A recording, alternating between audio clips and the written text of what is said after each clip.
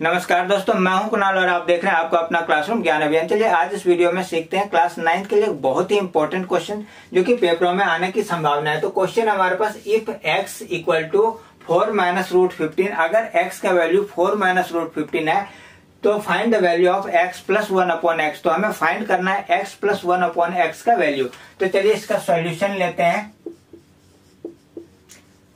Given हमारे पास x equal to four minus root fifteen और तो निकाल लेते हैं पहले वन अपॉन एक्स का वैल्यू तो one upon x equal to क्या जाएगा? One upon four minus root fifteen अब इसको कर लेंगे रेशनलाइज तो रेशनलाइज करने के लिए क्या करते हैं? One upon four minus root fifteen अगर इसको रेशनलाइज करना हो तो सबसे पहले इसको ऐसे ब्रैकेट में लेंगे और ऊपर और नीचे क्या करना है? Four minus four plus root fifteen से इसको मल्टीप्लाई कर लेना है. फोर प्लस रूट फिफ्टीन से. फोर प्लस रूट फिफ्टीन से क्यों? क्योंकि अगर यहाँ पे माइनस होगा तो ये प्लस वाले से मल्टीप्लाई करना है. अगर ये प्लस रहेगा तो ये माइनस वाले से मल्टीप्लाई करना है. तो चलिए ये हो जाएगा फोर प्लस रूट फिफ्टीन ऊपर हो जा रहा है और नीचे क्या हो जा रहा है हमारा?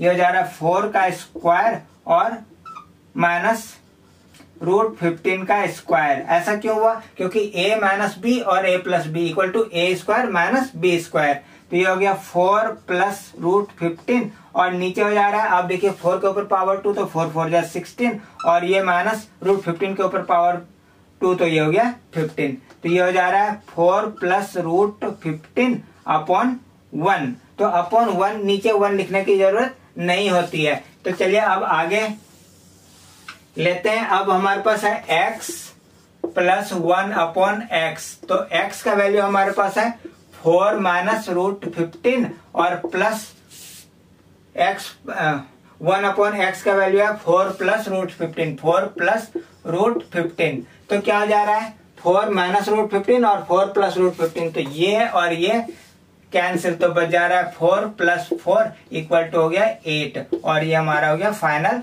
आंसर उम्मीद है ये वीडियो आपको बहुत ही पसंद आया होगा। अगर ये वीडियो आपको पसंद आया तो आप इसे लाइक कीजिए, अपने दोस्तों के साथ शेयर कीजिए। और अगर अभी तक आपने इस चैनल को सब्सक्राइब नहीं किया तो इस चैनल को सब्सक्राइब कीजिए। मिलते हैं एक नए वीडियो के साथ। इस वीडियो को देखने के लिए आपका बहुत बहुत धन्यवाद।